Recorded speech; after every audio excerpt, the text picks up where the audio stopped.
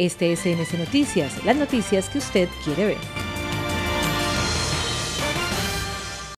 Fueron tres meses de instrucción en diferentes áreas relacionadas con la vigilancia y el servicio a la ciudadanía. Se realiza el juramento de bandera de 108 auxiliares de policía, los cuales cumplieron un periodo de tres meses de capacitación en temas institucionales, en temas de prevención, en temas de humanismo, en temas de información y atención de procedimientos de policía. Y el día de hoy finaliza esa actividad y ya continúa la actividad ya de trabajo de ellos para las diferentes actividades que tenemos en el municipio de Tuluá. Es un apoyo muy importante porque son 100 auxiliares de policía los cuales van a estar haciendo actividades en todo el municipio de Tuluá apoyando las actividades que tiene la estación de policía y las actividades encomendadas para el mejoramiento y acercamiento a la comunidad.